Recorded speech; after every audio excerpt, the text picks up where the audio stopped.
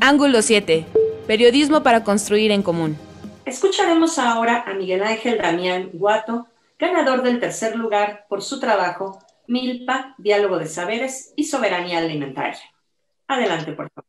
En este certamen concursé con el libro Milpa, Diálogo de Saberes y Soberanía Alimentaria, donde se expone una propuesta de política pública nombrada Modelo Productor Innovador para que los indígenas y campesinos consigan la autosuficiencia alimentaria en maíz, frijol y calabaza, así como para colaborar a conseguir la soberanía alimentaria en maíz. El modelo productor innovador sintetiza 20 años de experiencia y resultó de una rigurosa evaluación de las tecnologías modernas y campesinas aplicadas en el manejo de maíz de temporal, que permitió identificar experiencias agroecológicas e eficientes.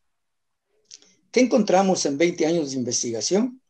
Entre otras cuestiones, que todos los maiceros eficientes manejaron el maíz como milpa, donde aplicaron un diálogo de saberes que combina tecnologías ancestrales y modernas que, aunque distintas, se fusionan entre sí.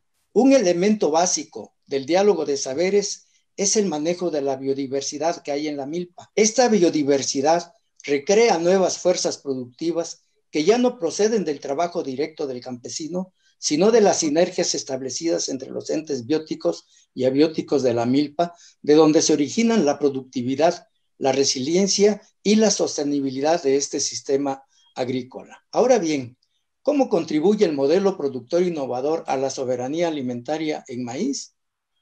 Es sorprendente que la milpa no aparezca en las estadísticas oficiales, pero se calcula que en el país se siembran cerca de 3 millones de hectáreas que en promedio producen 3 millones de toneladas de maíz. Hay que enfatizar que el modelo productor innovador tiene un efecto multisectorial que coincide con 12 de los 17 objetivos del desarrollo sostenible propuestos por la Agenda 2030 de la ONU. Para concluir, quiero aprovechar esta oportunidad para informar a esta soberanía de las violaciones sistemáticas a los derechos laborales y humanos que el rector de la Benemérita Universidad Autónoma de Puebla, doctor Alfonso Esparza, ha impulsado en contra de la comunidad universitaria.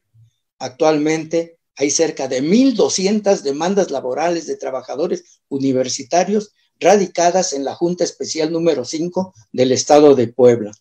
En mi caso, he promovido dos demandas. La primera por acoso laboral y la segunda por despido injustificado, pero como el resto de las demandas están durmiendo el, sueño de los justos, pues en casi tres años no ha habido ningún avance, evidenciando la complicidad que hay entre la administración de la UAP, la Junta Local de Conciliación y Arbitraje y los sindicatos universitarios blancos.